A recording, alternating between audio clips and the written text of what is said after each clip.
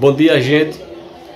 Jornal do Povo se encontra aqui com o vereador atual da Câmara Municipal de Joaquim Gomes, Alagoas, Dionísio Bonifácio, mais conhecido como Seu Nino da Pimenta. Seu Nino, fala para nós aí, para nosso jornal, a, como é que o senhor avalia aí, está avaliando a nossa emancipação política do nosso município, dos seus 60 anos? Bom dia, pessoal. Eu estou, minha avaliação, estou achando importante demais esse tempo que o Adriano está com esse, nesse trabalho aqui na cidade. Eu acredito que a tendência é melhorar mais, porque isso é o objetivo dele, não só deles. Eu acredito de nós todos. Toda a população de Joaquim Gomes só vai torcer que dê tudo certo, agora e no futuro.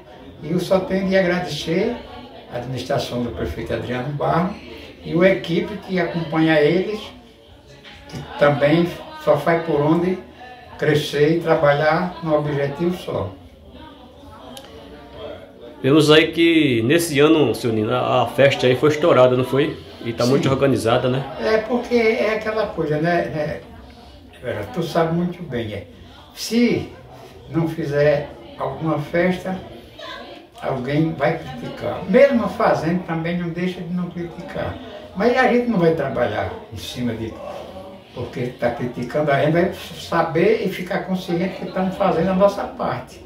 E eu acredito que é importante demais cada. cada que é aquela coisa.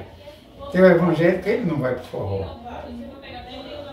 Mas vai para um palanque orar e fazer o discurso dele como evangélico.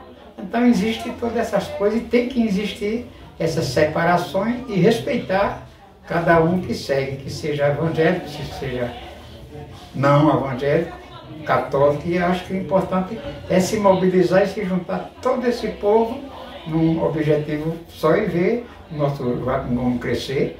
Depende muito de cada um, amigo do Gomes, cada eleitor do Gomes, pensar no futuro e pensar que só para quem vai ver fazer por onde dá certo do jeito que vai, é a própria, os próprios amigos do nosso Joaquim Está na mão deles.